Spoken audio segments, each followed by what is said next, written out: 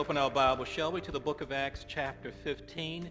Our readings will begin with verse number 36. Today's message is entitled, The Next Step. The Next Step. After some time had passed, Paul said to Barnabas, Let's go back and visit the brothers in every town where we have preached the message of the Lord and see how they're doing. Barnabas wanted to take along John Mark, but Paul did not think it appropriate to take along this man who had deserted them in Pamphylia and had not gone on with them to the work. There was a sharp disagreement that they parted company, and Barnabas took Mark with him and sailed off to Cyprus. But Paul, I'm sorry, then Paul chose Silas and departed after being commended to the grace of the Lord by the brothers. The next step. Let's bow our heads in prayer.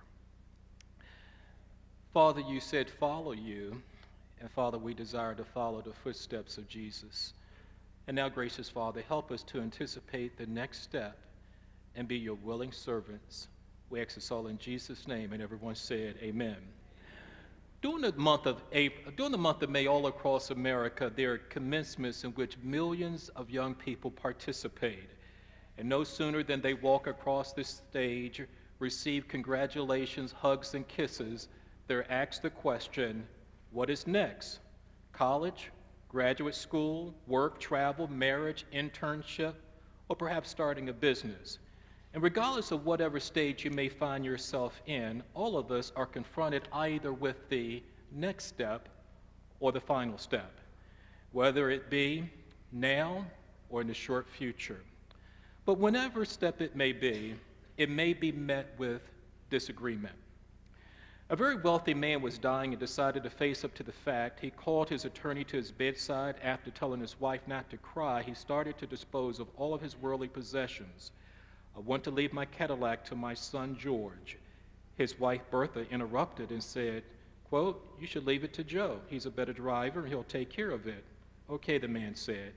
He went on, I want to leave my Rolls Royce to my daughter Linda.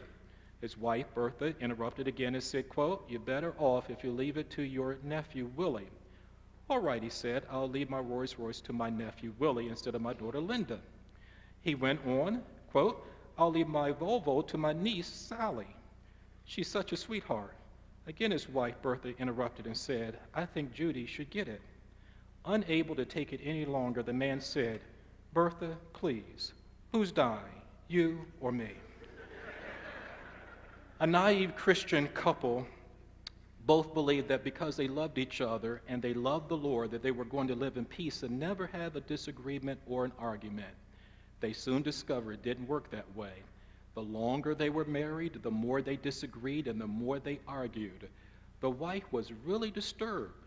She didn't believe in divorce, so finally one day she said to her husband, quote, Honey, let's just pray to the Lord that he would take one of us home and then I'll go and live with my mother. well, these two accounts are rather lighthearted, but some of you are facing some troublesome decisions regarding the next step. Do I sell my home and move into assisted living facility? Do I move back to assist my ailing parents? Do I keep my loved one on a ventilator or do I remove all artificial support? Do I sign the divorce papers or not? Do I sell my business or do I hold off? There is a range of categories that we could assign involving the next step, but perhaps there are three common ones. They are personal next step decisions, professional next step decisions, and then personnel next step decisions. But what does any of this have to do with the book of Acts, chapter 15, verse 36 and following? The Apostle Paul and his colleague Barnabas are in an enviable position they had successfully completed their first ever missionary journey. And it was marked by hundreds, if not thousands, of souls have been saved, churches have been planted, and disciple making is in the process and flourishing. And now months have expired or gone by since their first missionary journey.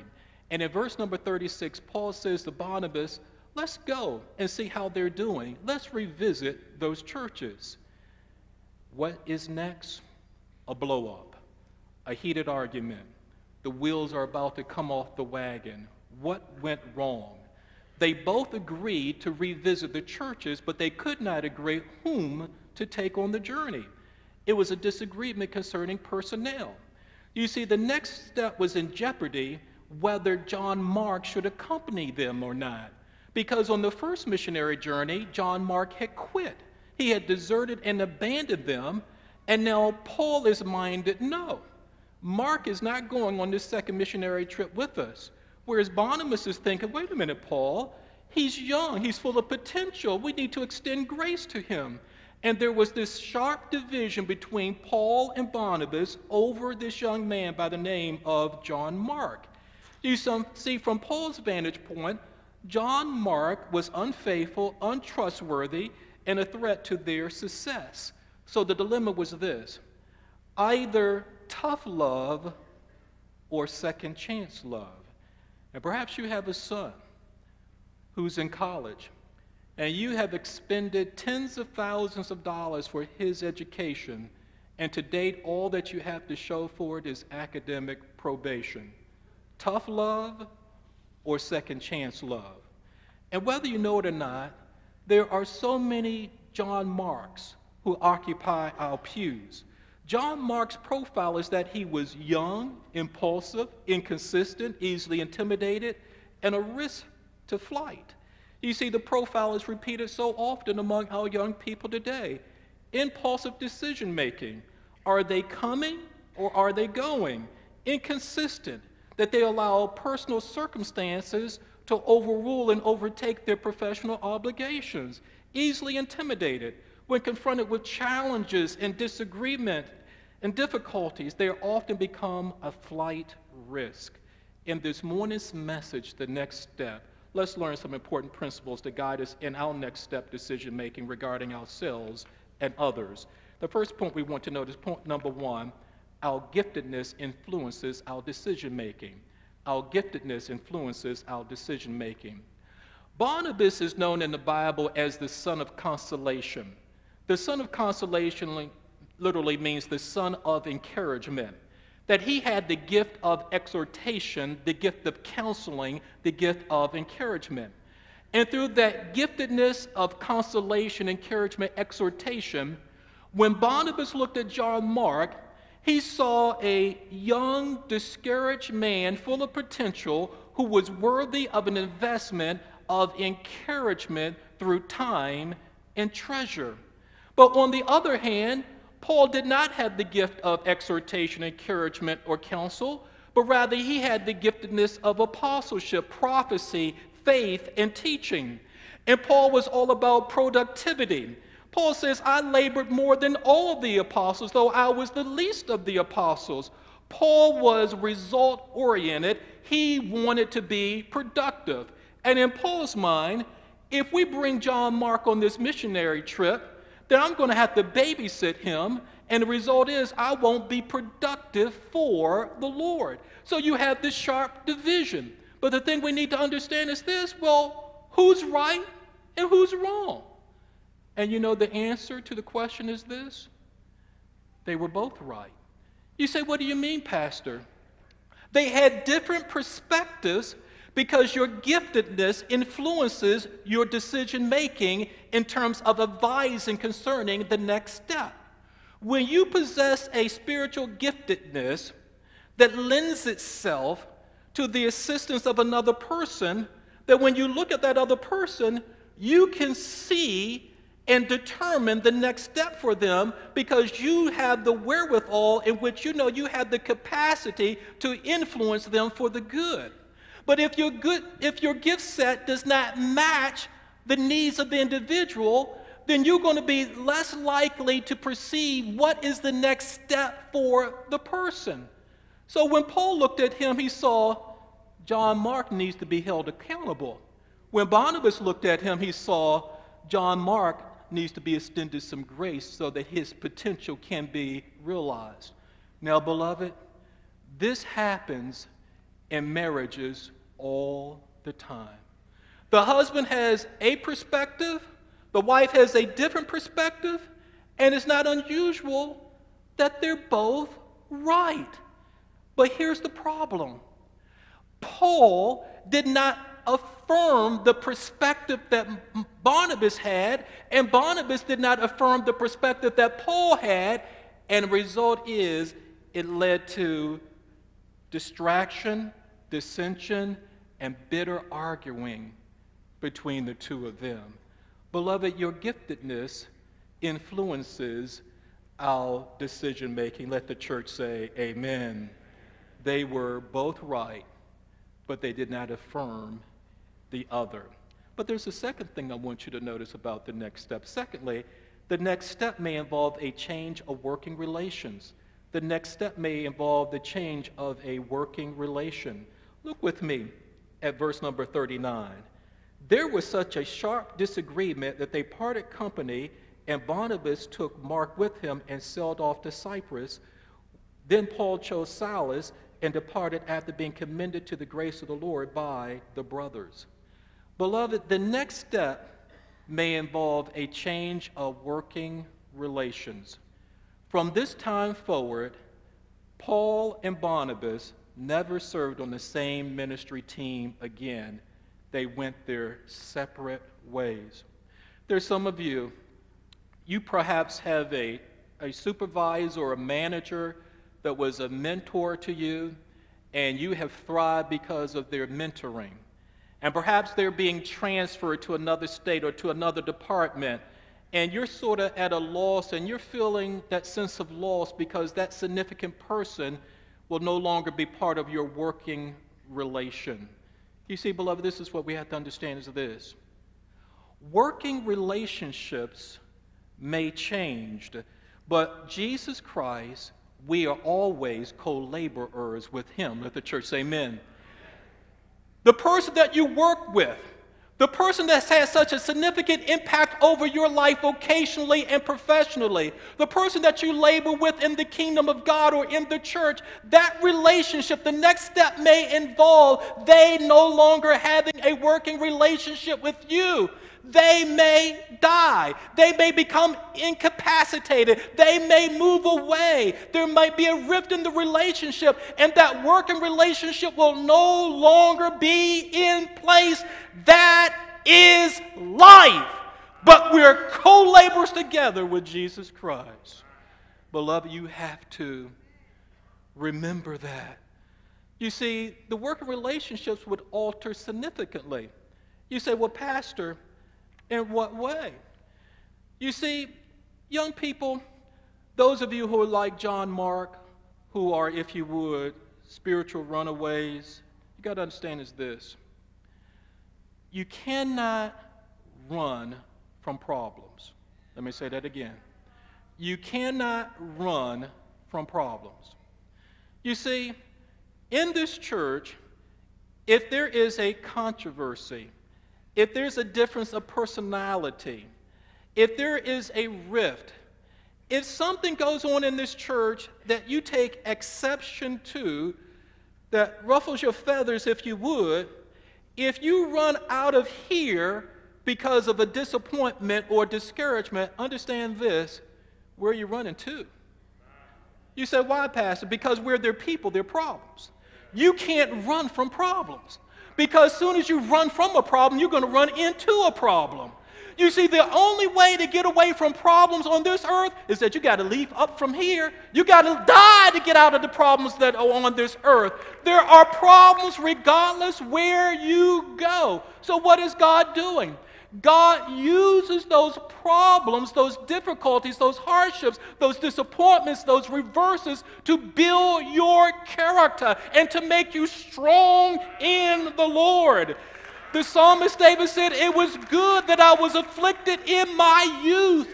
David is saying, Lord, you allowed me to go through so much controversy, so many reverses, disappointment, discouragement, abandonment, living in the wilderness, living in caves, being betrayed, and so on and like. And then David says, The Lord teaches my hands to war and maketh my uh, hands to break iron.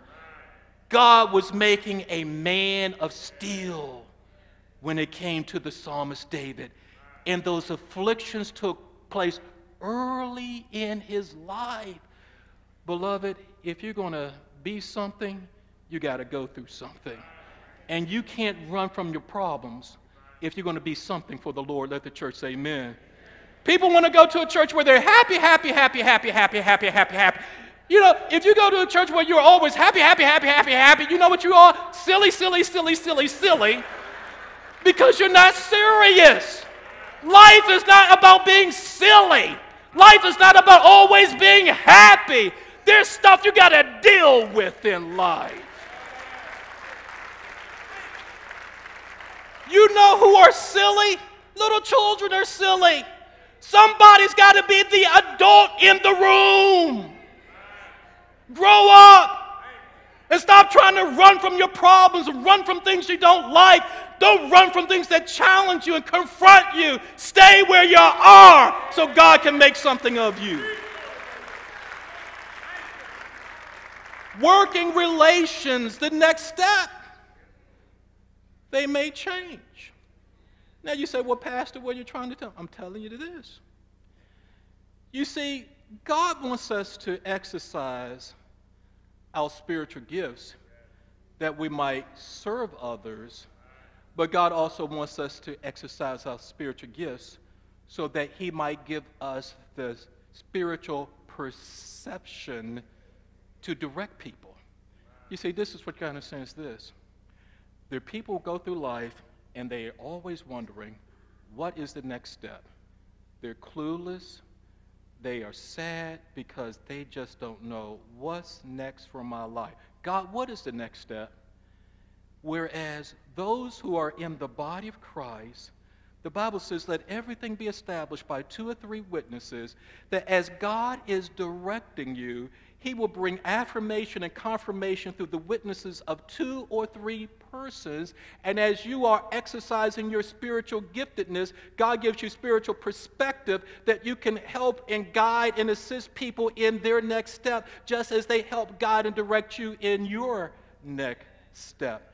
But if you're sitting on your hands and you're not using your spiritual gift, you're neither serving others in the body nor do you have the perspective for the next step for others in your life. Beloved, we have to exercise our spiritual gifts because they influence us in determining the next step. But there's a third thing I want you to see. Thirdly, this next step may prove to be well documented or obscure. The next step may prove to be well documented or obscure. Now, this is what you have to understand about Paul. Paul, Silas, and Timothy, that's the new ministry team. And after the first missionary journey, there would be the second missionary journey and the third missionary journey. And those journeys are well documented in the scriptures. We have the accounts of those two other missionary journeys. But whereas it came to Barnabas, from that point going forward, his name falls off the pages of Scripture. We, do no, we no longer hear about Barnabas after this account here in Acts chapter 15. You say, Well, Pastor, what are you trying to tell me? For some, the next step that God has for you will prove to be well documented. In other words, as with Paul, there's some of you here today, God wants to put you in the forefront. He wants to use you publicly. But for others, God sometimes works in the dark. Let the church say amen. He works behind the scenes. And for some of you, the next step is that God wants to put you in a concealed place, obscure place, a, a hidden place, that you're laboring for Christ behind the curtains. You say, well, you, well, what's the difference? You see, it really doesn't make any difference how God uses you, whether He uses you publicly or privately, because the thing you got to understand is this God sees, God remembers, and God rewards whatever you do in His name. God sees, God remembers, and God rewards whatever things that you do in His name. You don't have to have this big old public ministry in order for God to see you, remember you, and, re- and reward you. No. God remembers when you give just a cold glass of water to somebody that's thirsty. Let the church say amen. God sees you when others don't see you. And God remembers when others forget. And God rewards you in a way that others cannot reward you. God, just use me any way you want to use me, but just use me. And what happens? The next step, it may prove to be well documented that many will know of the works that you've done in the name of Jesus. Or the next step, if you would, may be a step in which God is using you in obscurity, in obscure, quiet, hidden ways. But nevertheless, the Lord is using you.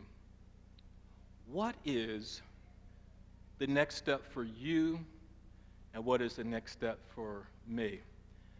The truth of the matter is this we don't know whether God has a next step for you or the final step for you. None of us know. Let the church say amen. None of us know. Let the church say amen. None of us know. But this is the thing that you can take soul and sin is this. Regardless of whether God has a next step for you or you are approaching the final step, if you're following Jesus Christ, then you're taking good steps. If you're following Jesus Christ, then you are taking good steps. You see, a righteous man, a good man, his steps are ordered by the Lord. Who was right? Who was wrong? Well, when you look at verses 39 and verse number 40, something's interesting. The Lord says that when Paul and Silas left, that the brethren if you would, commended them to the grace of God and sent them away. And of course, Paul and Silas and Timothy, their journeys proved to be um, successful. But the Bible does not tell us the same regarding, Paul, regarding Barnabas and John Mark. It doesn't say that the brothers commended them to the grace of God. It simply tells us that Barnabas and John Mark went on their way. But we do know this that Barnabas investment in young John Mark would pay huge dividends. You say, what do you mean? John Mark, much of his Christian experience, like some of you, he was a constant flight risk. In what context? You remember when Jesus was arrested? And when he was arrested at Garden Gethsemane, there was a young man that was apprehended, that was grabbed. And that young man was John Mark. And the Bible tells us that when he was grabbed, he literally ran out of his clothes from where he was. He ran out of his outer garment and fled the arrest scene lest he be arrested as well. John Mark was a constant flight risk. His mother's name was Mary, a wid- the widowed Mary. And Mary, his mother, was a devout follower of Jesus. But because she was a widow, John Mark was young, he grew up without a father. Barnabas was John Mark's cousin or uncle. And he knew the family because they were blood related. And this man, Barnabas, he invested in John Mark to such an extent that two things would be realized that John Mark would write the gospel according to Mark. And according to Bible scholars, it is the first chronological written gospel in the Bible of the four gospels. Chronologically, in terms of time sequence, it was the first ever written gospel by a flight risk impulsive young man. And later in life, when Paul would come to the near end of his ministry, he would instruct bring Mark because he is profitable unto the ministry. That Paul, who had little confidence in John Mark decades before, near the end of his life, he realizes and he witnessed that John Mark has become an incredible servant of Jesus Christ, dependable, trustworthy, and capable for Christ, that the second gospel bears his name. The question is would we have a John Mark if it were not for a man with the gift of exhortation, counsel, and encouragement by the name of Barnabas? I thank God that Barnabas exercised his spiritual gift and his spiritual percep- perceptions because if he had not, John Mark would never have achieved and accomplished what God has set out for him. Let the church say amen. The next step, your next step, is highly contingent upon others pouring and investing in you. And the next step for others is highly contingent upon you investing in them. And as we invest in one another, we become increasingly aware what the next step is.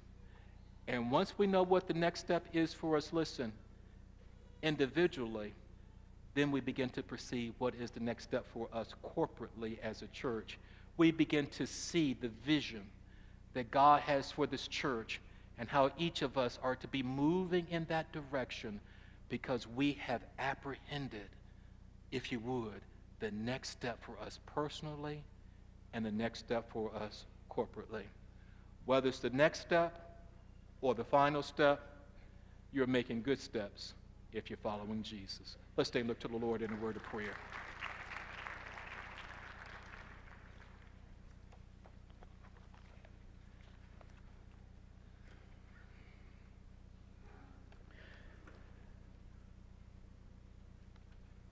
God, we thank you for the wisdom of your Holy Spirit, Lord, that your servants who served you well, whether it be Paul or Barnabas, and though they had their disagreements, Lord, and Lord, they in reality both were right, but they failed to affirm one another's perspective.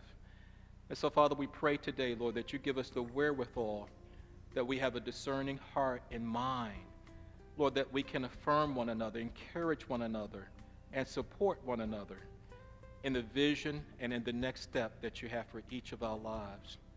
Father, help us to stay put. Help us to endure challenges, reverses, disappointments, discouragement, Lord. Because, God, we can't run from problems, we only run into problems. So, Father, help us to stay put and to do your sacred will. Now, Father, bless your children because you are our blessed Father. We ask this all in Jesus' name. And everyone said, Amen and amen.